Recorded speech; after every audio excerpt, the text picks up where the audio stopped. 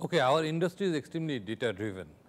So many of the basically what we do, we we we underwrite risk, and risk for us is an opportunity to and we make, risk as a business opportunity. In order to manage the risk, data plays an extremely important role. So any technology that comes with the help of the data and data management is extremely important. So if you if you say so, for example, so machine learning uh, part of the AI is extremely important. The way you are going to use the leverage the machine learning, the because what we do, we do underwrite a lot of policies. The machine learning will be able to do the entire underwriting to an automation level, and we will be able to able to actually offer personalized solutions to each and every customer. So that's that's a, that's a big one in the in the in the in the technology side. Another technology side is that what I call is a uh, technology enablement for a sales uh, sales. So, what our sales guy do? They do a lot of advisory. So, technology can play an important role in giving an advisory and uh, auto advisory and that help that will help our sales guy to help the advisory role. So, again the advisory will come with a lot of recommendations engine which is suitable to each and every customer and that will help them to take the selling process and customer understanding the customer need in a different level. So, I think these two, these are the two three technologies which will help us uh, emerging technology help us to the take the industry to a different level. The maximum investment should not be looked at for any technology investment should not be looked in isolation. There is always a, there is always a tendency to look at in an incremental basis. I always suggest that take a step back and look at, at a more of a strategic way.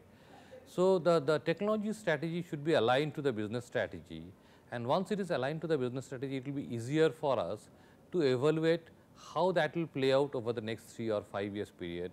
What is the overall, how the organization overall benefited from that rather than looking at in isolation that this technology will give this much ROI and that much ROI. So, as long as we understand the, the problem statements of customers, distributors and various stakeholders and align our technology strategy to that extent and that will help us to come up with an investment which is aligned to the future. The point two is that we need to be also observant that what are the new technology that is coming. For example, I will give you an example. Chat GPT 4 is now extremely popular and everyone is discussing that. The important for the organization is to understand the use cases that may come out from the technology and how do we leverage that in our on in our overall organization strategy, how we fit that and that that is the that is some of the discussion that should happen at a technology strategy discussions and come up with the optimal solutions. So, as I earlier said that we are investing heavily on the AI and ML models because it uh, we have developed a cutting edge fraud model uh, in house which help us to identify the fraud models and at the same time give a customer a superior experience we will be happy to know that our claim settlement ratio is 99.2 percent. So, practically every claim we settle that we have been able to do because we have been able to identify the fraud at a uh, early level.